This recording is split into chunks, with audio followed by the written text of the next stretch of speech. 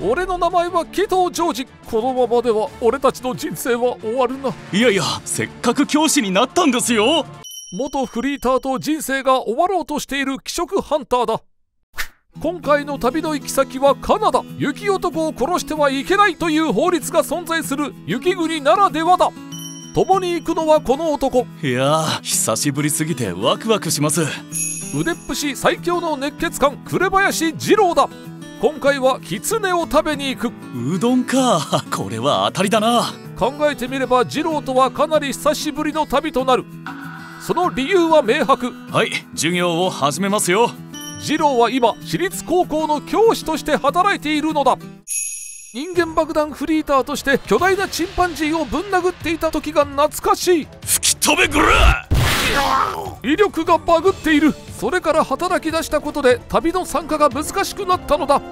そんな二郎と旅をするきっかけは数日前に遡る。佐竹直ちにキャナダへ行くぞ。なんだ？すまんが今から仕事なんだ。新しい仕事が決まってね。むむ神のいたずらか。それはしょうがない。するとある提案があった。紅林くんを誘ってみるのはどうだ？彼就職したらしいけど土日なら空いているらしいよ。ほうそれはいい。バラバラ佐竹嘘だろ電車が全線ストップだって？まさかあの二郎が教師になっているとはな。自分でもびっくりです。実際に誘ったところ休日返上で来てくれたのだ。そして目的の店に着く。ローカルだ。ブレてないですね。就職祝いも兼ねて素晴らしいものを食べてもらいたいからな席に着くと早速注文をする。こいつを2人前頼めるか？お日本人か？珍しい。なんかこの感じ懐かしい。外は寒かったしカナダのうどんなんて楽しみだな。あのキツネじゃないぞ。俺はまっすぐに壁を指さす。あっちのキツネだ。え動物の狐だったんですか？そんなに驚くことじゃない。日本でも縄文時代ではよく食べられていたんだ。勉強になりますすると料理が運ばれてきた。お待ちどきつねうどんです。何？俺は天使の言葉に絶句した。俺はキツネのスープを頼んだはず。それが奇怪なうどんとなっていた。どどういうことだ天使？日本ではきつねうどんってのがあんだろ？これはカナダと日本の融合だ。天使の計らいがまさかの形で二郎の言葉を現実に変えたエキノコックスとかの対策は大丈夫か？何ですかそれは？それはねキツネを媒介する寄生虫で放置した場合の致死率は90%を超えるんだ。現代でもキツネが食用としてポピュラーじゃない一つの理由だろう。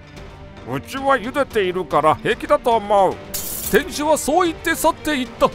しかしこれで案ずることはなくなった。いただきフォーク！ス負けねえ気合一戦俺たちはキツネの顔面に豪快にかぶりついた。瞬間癖しかない味が口の中に広がる。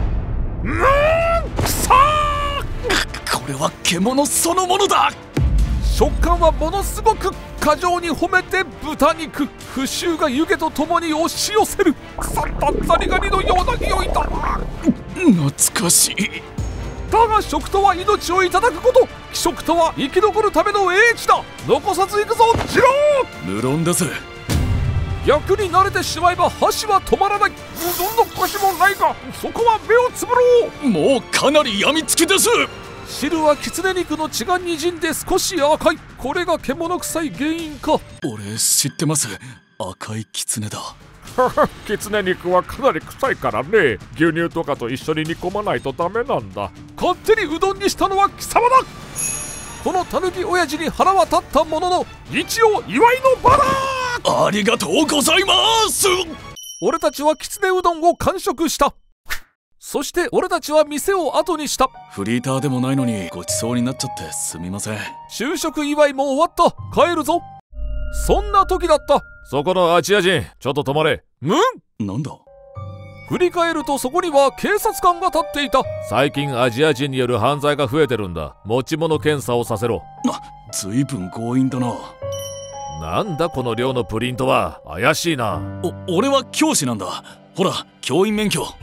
警察官は今度俺の方に歩み寄る。ほらお前も持ち物検査だ。何も怪しいものはない。しかしあむんなんだこれは。まずいな。護身用の鎖奮闘を所持していたことを忘れていた。危険物所持。とりあえずお前ら連行する。ちょっと待ってくれ。誤解だ。理由もしっかり聞かず俺たちは拘束された。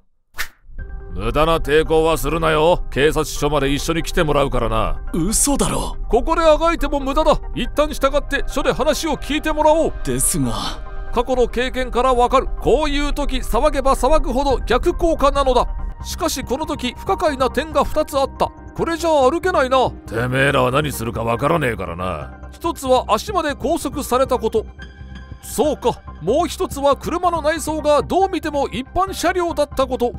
そしてその違和感はすぐに牙を向く。ついたようですね。さあこの拘束を解いてくれその時だった。すまないが俺は偽物なんだ。お前たちは今人質だ。むん？なんだと？しかし二郎はすぐに落ち着きを取り戻す。だったらあんた何者だ？この状況で冷静に会話するとは肝が座りすぎている。俺は反政府組織の人間だ。抵抗しようとか考えんなよ。お前らは人間の盾だ。言ってることがよくわからねどうやら俺たちは何かに利用されるようだな今から警察に捕まった仲間に対し解放要求を行う。なるほど。交換材料ということか。それはつまり警察が要求に応えなければ。えこいつ目に迷いがねえ。俺たちの命はないということ。その後足の拘束を解かれ警察署に入る。おいおい今日は大きな会議の日だろ。なんだそいつら。すまんな。その次の瞬間。てめえに用はねえよ。え 男は躊躇なく引き金を引く。この音で他の警察官が駆けつける様子がない。今日この時間は大きな会議があってな。署の人間は出払ってることは分かってるんだ。なるほど。さあ立てこもるぞ日本人。お前たちと仲間を交換してもらうまでな。ふざけやがってそれから2時間は経っただろうか。睨み合いの調子はどうだ？だいぶ囲まれたな。ネットで拡散してあるから俺らが立てこもってるのは分かっている。開けろめろ！お前の思うようになるはずがないだろう！いつでも狙います。指示があるまで殺しはするな。そして警察署は完全に包囲されていた。すると二郎が何かを見つける。紀藤さんあれ？拳銃か。二郎は足を使い器用に手繰り寄せた。しゃがめば紀藤さん銃を取れるはずですそれで俺の手錠を撃ってください。なんだと？すると男は焦り出したのか？そうふざけやがって。胸元から手榴弾を取り出す。自爆して警察のメンツも全て潰してやる。うーんこれはまずい。俺らは永久に踏む。その直後スナイパーが放った弾丸が奴の手を弾いた。手を押さえ倒れる男。チャンスだ紀藤さん俺はとっさにかがみ銃を握るもうーん撃てん撃ってください。それは一歩間違えば二郎を貫く。信じてますよ。人を信じることは人を救う。昔のおっちゃんが言ってた気がします。